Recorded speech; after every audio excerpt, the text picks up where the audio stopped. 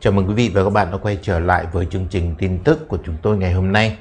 Kính thưa quý vị và các bạn thân mến, chiếm đoạt tranh giành chuyển giao là đặc thù trong trò chơi Đại hội 13 của Đảng Cộng sản Việt Nam với các âm mưu và thủ đoạn khốc liệt trong thiết chế thang bậc khác nhau chỉ gây tò mò kích thích thoáng qua với dân chúng. Ai thắng mặc kệ. Điều nhân dân lo lắng nhất là đất nước sẽ đi về đâu sau cuộc tranh giành quyền lực máu lửa này. Thưa quý vị và các bạn thân mến, Phúc Niễng lại phát biểu những câu hoang tưởng Hồ Chí Minh làm ngày không đủ thì tranh thủ làm đêm. Vào ngày 19 tháng 7 năm 2020, Nguyễn Xuân Phúc ra lệnh cho đàn em Mai Tiến Dũng ký công văn số 6433 nghiên cứu chính sách kinh tế ban đêm của Trung Quốc được công bố trước đó 4 ngày. Sau một năm nghiên cứu và học tập từ quan thầy, chiều ngày 20 tháng 7 năm 2020, Phúc Niễng ra lệnh Hồ Chí Minh xuất quân làm kinh tế ban đêm. Trước tình trạng lụi bại của nền kinh tế, những công bố tăng trưởng kinh tế lếu láo của Cục Thống kê, cách tính GNP mị dân và những phát biểu nổ văng miệng của Thủ tướng CLMV Nguyễn Xuân Phúc không đem lại giàu sang phú quý cho Đảng. Nguyễn Xuân Phúc bắt Hồ Chí Minh làm ngày không đủ thì tranh thủ làm đêm. Theo Phúc Niễng, nếu Hồ Chí Minh tăng làm tăng ca 4 giờ một đêm thì đóng góp 5 đến 8% GDP cho Đảng. Vì vậy, thành phố Hồ Chí Minh không được chậm trễ, đặc biệt các cấp các ngành của thành phố, các quận không được trì trệ. Thủ tướng CLMV Nguyễn Xuân Phúc không nói rõ mỗi đêm Hồ Chí Minh sẽ làm những gì trong 4 giờ phụ trội. Ai làm?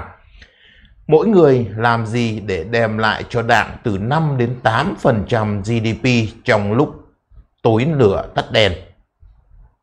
Trong khi đó thì vào chiều ngày 14 tháng 7, Phó Chủ tịch thành phố Hồ Chí Minh là Dương Anh Đức nổ rằng nhiều lãnh đạo thành phố Hồ Chí Minh làm việc đến 2 giờ sáng, không có cuối tuần và đây không phải là cá biệt mà tuyệt đội, tuyệt đại đa số cán bộ, công chức đều một lòng vì sự phát triển của thành phố như vậy. Bây giờ mới biết là cán bộ ta đã đi trước với trò làm việc ban đêm bằng mồm. Cần nhắc lại vào tháng 9 năm 2016, CLMV Nguyễn Xuân Phúc kêu gọi dân đồng cam cộng khổ để trả nợ công.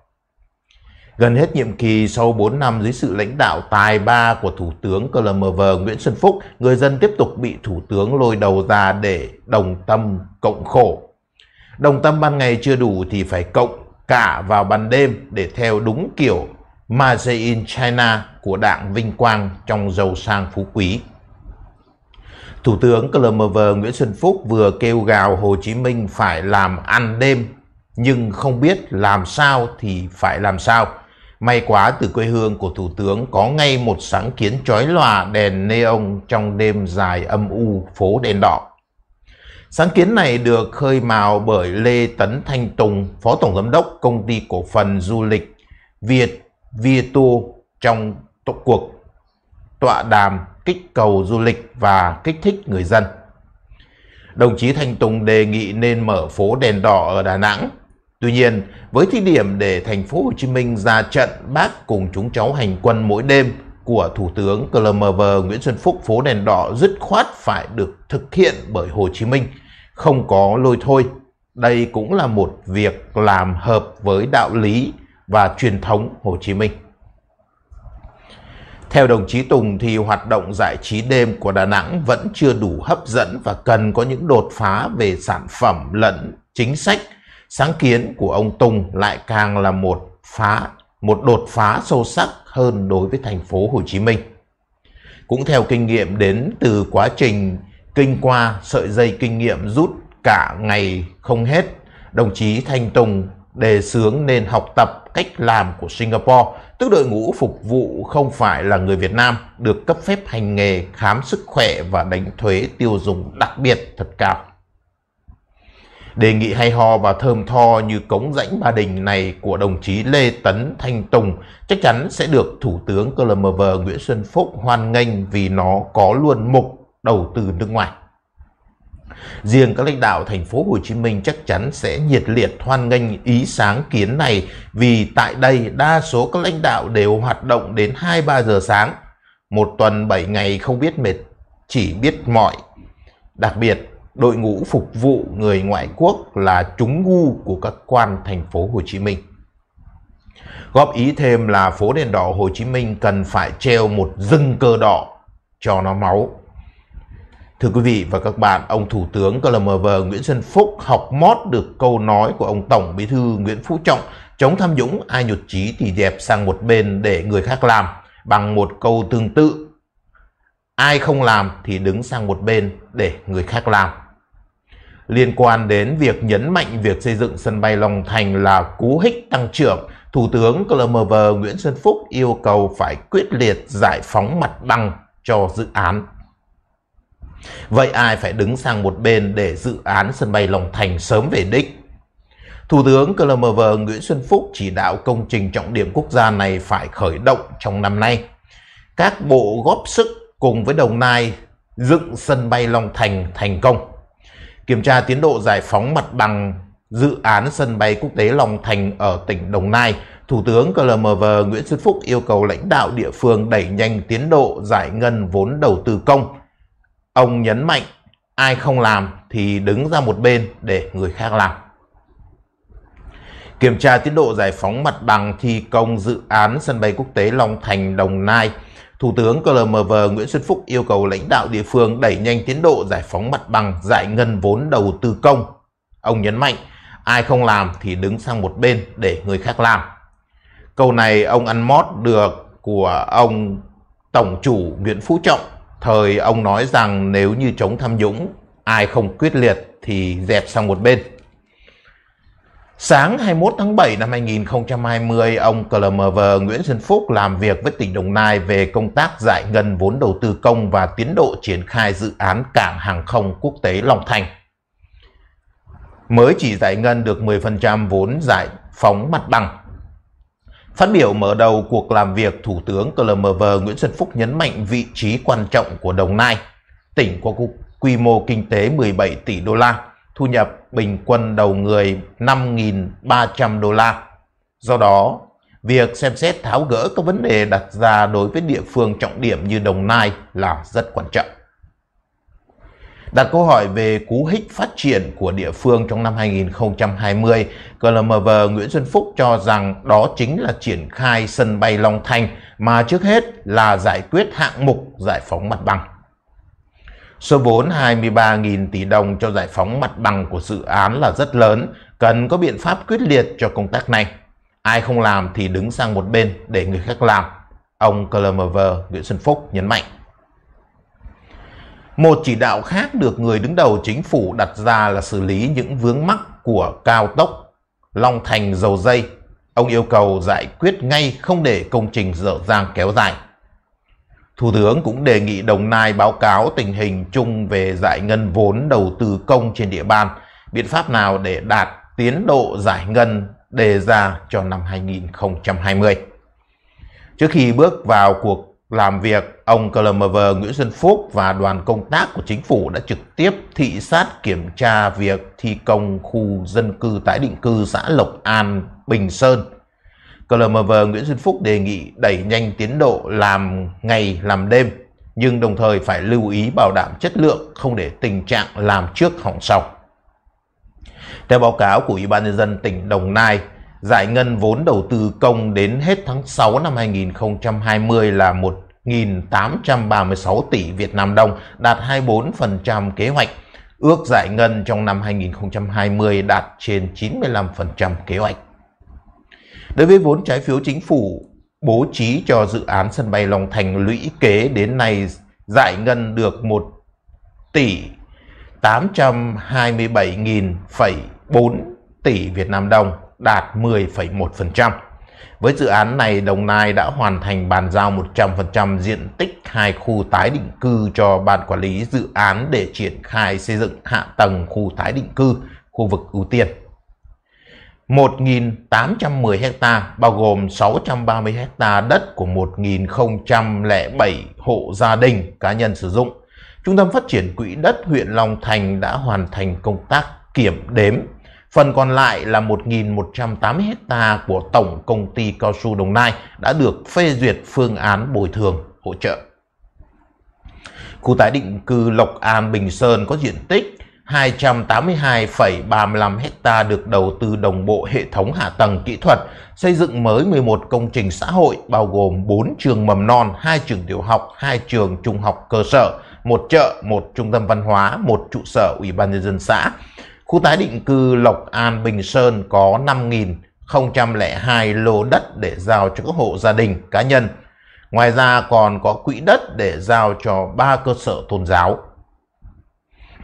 Trong 6 tháng cuối năm 2020, Ủy ban nhân dân tỉnh Đồng Nai cho biết sẽ tiếp tục tăng cường cán bộ biệt phái cho Long Thành để thực hiện hoàn thành phê duyệt phương án bồi thường hỗ trợ toàn bộ diện tích 5.000 hecta trong năm 2020 nên nguồn vốn đã bố trí sẽ đồng loạt giải ngân trong năm 2020. Trước đó, báo cáo chính phủ về tiến độ giải ngân vốn đầu tư công tại một số dự án trọng điểm quốc gia Bộ Kế hoạch và Đầu tư đặc biệt quan tâm tới tiến độ giải ngân tại dự án thu hồi đất bồi thường, hỗ trợ tái định cư sân bay Long Thành. Theo Bộ Kế hoạch và Đầu tư giải ngân vốn để giải phóng mặt bằng dự án sân bay Long Thành mới đạt 10%, do đó dự án khó xong trước năm 2021. Bộ Kế hoạch và Đầu tư cho biết 6 tháng đầu năm dự án này mới phải giải ngân hơn 689,9 tỷ Việt Nam đồng, lũy kế giải ngân đến nay trên 1.827 tỷ, đạt 10% kế hoạch giao. Mức rất thấp so với cam kết của tỉnh Đồng Nai là xong giải phóng mặt bằng và bàn giao đất. Việc chậm tiến độ giải phóng mặt bằng tái định cư sẽ ảnh hưởng tới tiến độ các hạng mục thi công tiếp theo của toàn bộ dự án xây dựng sân bay Long Thành.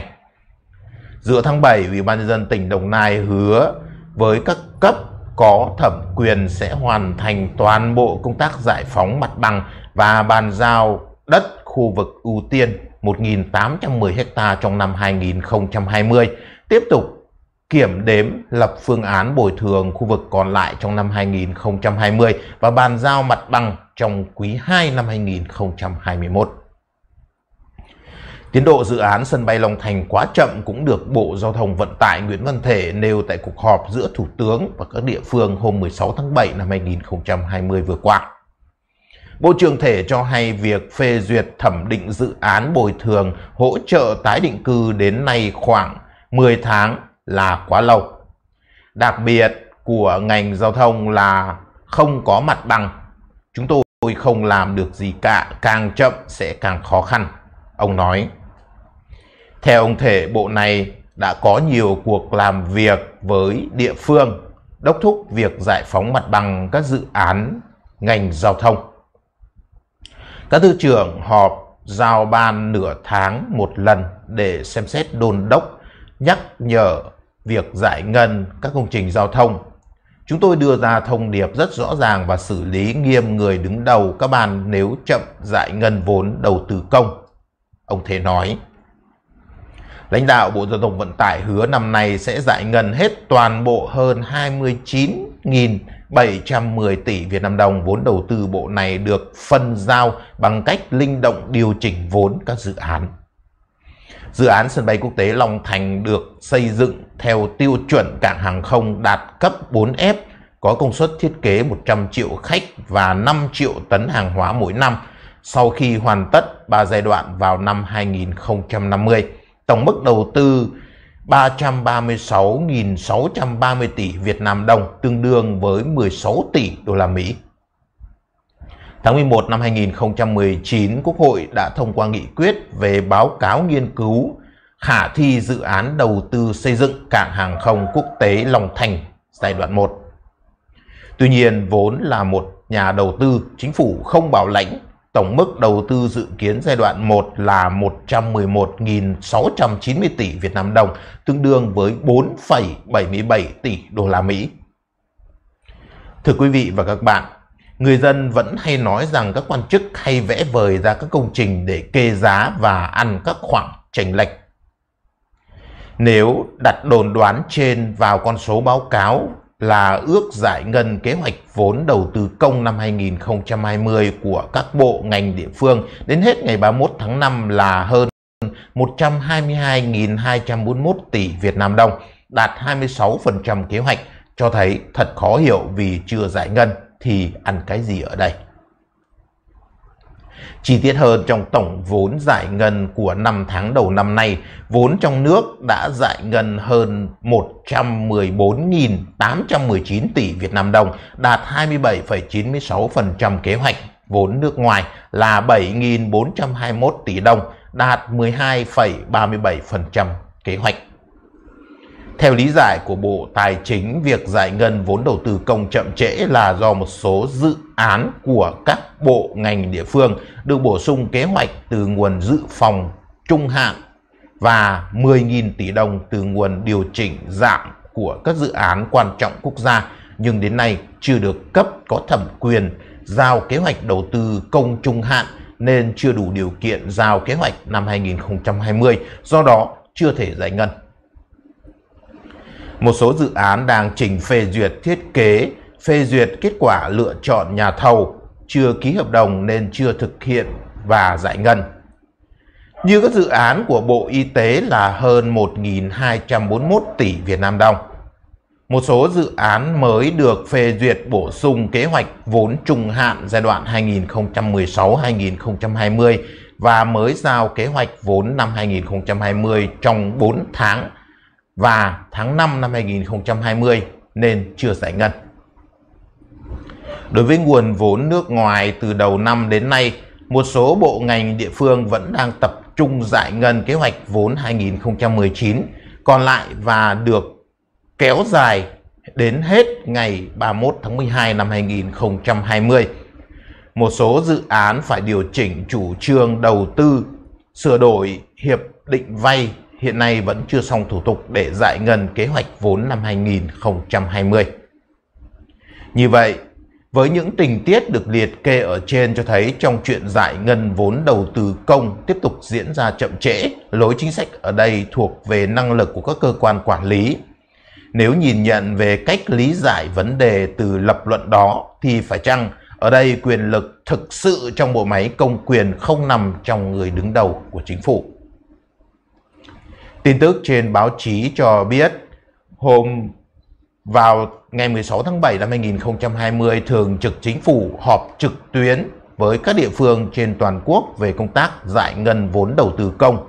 Ông Clemever Nguyễn Xuân Phúc đã có những phát biểu trên cương vị Thủ tướng Chính phủ.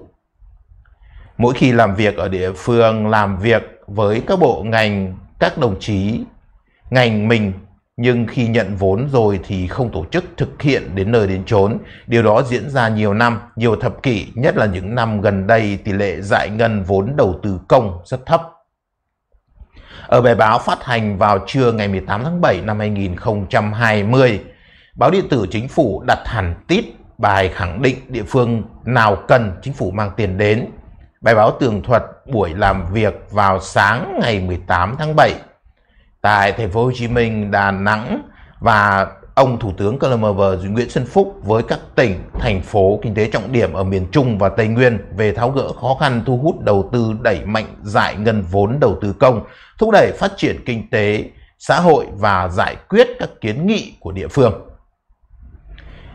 Ngay đoạn mở đầu bài báo viết Thủ tướng CLMV Nguyễn Xuân Phúc nhấn mạnh tinh thần không thể trì trệ xảy ra tại khu vực miền Trung Tây Nguyên. Địa phương nào không tiêu hết tiền, chính phủ điều động. Địa phương nào cần tiền để phát triển, chính phủ mang tiền đến. Là một so sánh giữa lý giữa lý do giải ngân chậm của Bộ Tài chính đưa ra với trách móc cho rằng đó là lỗi của địa phương mà Thủ tướng CLMV Nguyễn Xuân Phúc hồn nhiên phát ngôn cho tới việc tuyên bố gần như trái ngược hoàn toàn so lý do mà Bộ Tài chính đưa ra về địa phương nào cần chính phủ mang tiền đến, cho thấy ở đây có một lý do nữa mà không báo chí nào dám công khai nhắc tới, đó là việc thiếu cạnh tranh trong quản lý quốc gia. Nói một cách khác là nếu ở nhiều quốc gia thủ tướng có thể phải chọn việc từ chức để giữ thanh danh cho một đảng chính trị của mình thì ở Việt Nam điều đó là không tưởng. Trở lại với phần tựa đề giải ngân đầu tư chậm có liên quan đến tham nhũng. Câu trả lời của các lập luận được trích ra như ở trên cho thấy dường như phải chăng việc giải ngân đầu tư chậm có phần mâu thuẫn và yếu tố được cho là ở Việt Nam các quan chức ăn của dân không từ cái gì. Có thể tìm thấy phần nào câu trả lời qua bài phát biểu của Vũ Thị Lưu Mai đoàn Hà Nội tại Quốc hội vào sáng ngày 28 tháng 5 năm 2019 khi thảo luận ở hội trường về một số nội dung còn ý kiến khác nhau của dự án luật đầu tư công sửa đổi. Công khai minh bạch là yêu cầu căn bản cũng là nguyên tắc đầu tiên trong phân bổ ngân sách. Chỉ có công khai, minh bạch mới khắc phục được cơ chế xin cho, giảm đưa gánh nặng cho các địa phương trong đề xuất dự án.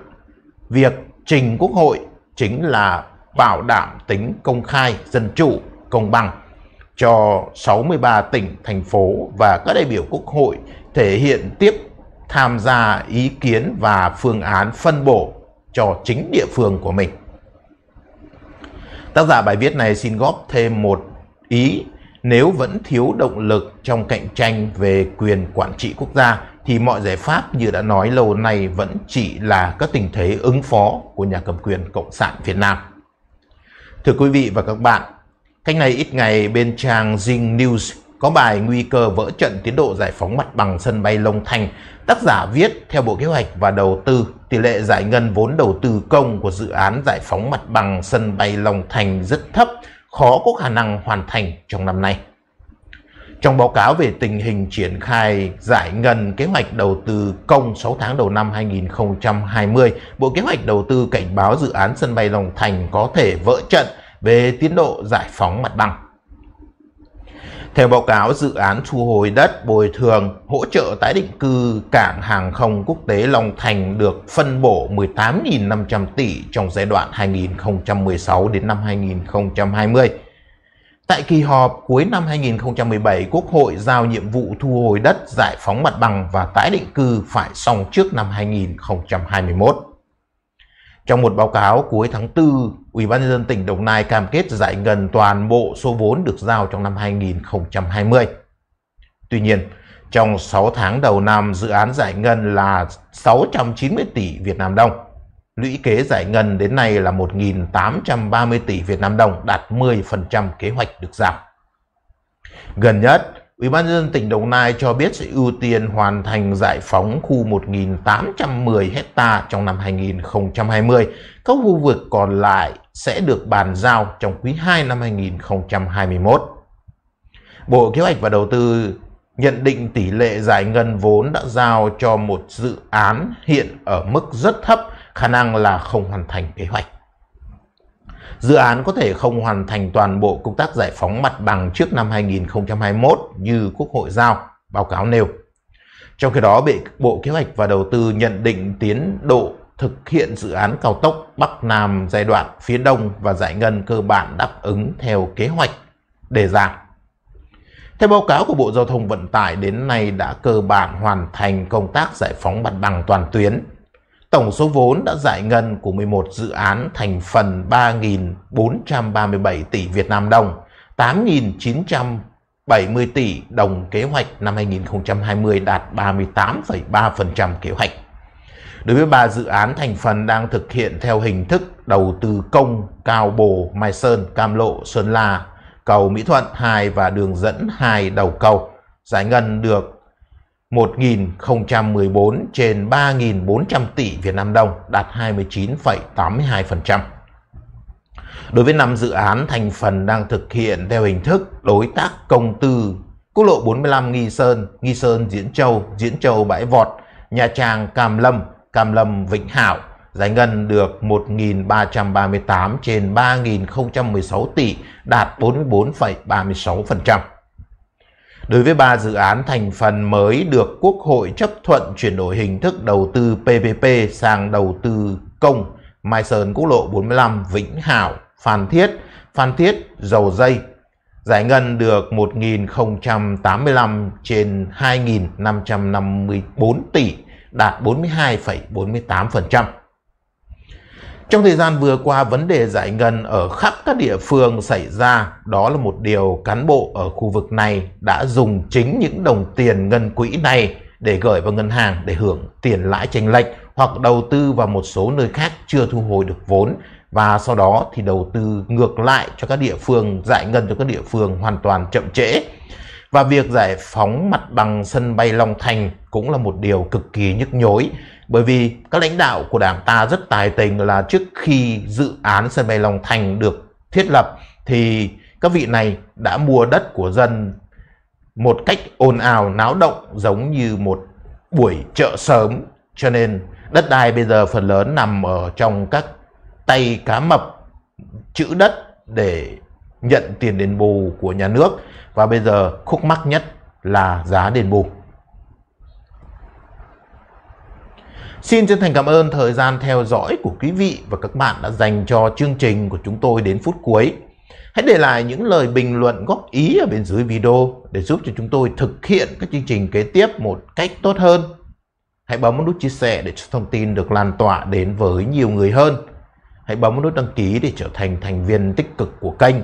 Và đừng quên bấm vào hình quả chuông bên cạnh nút đăng ký để nhận được những thông báo nhanh nhất, sớm nhất về các chương trình của chúng tôi sắp phát hành. Xin chân thành cảm ơn và hẹn gặp lại quý vị và các bạn trong các chương trình kế tiếp của chúng tôi.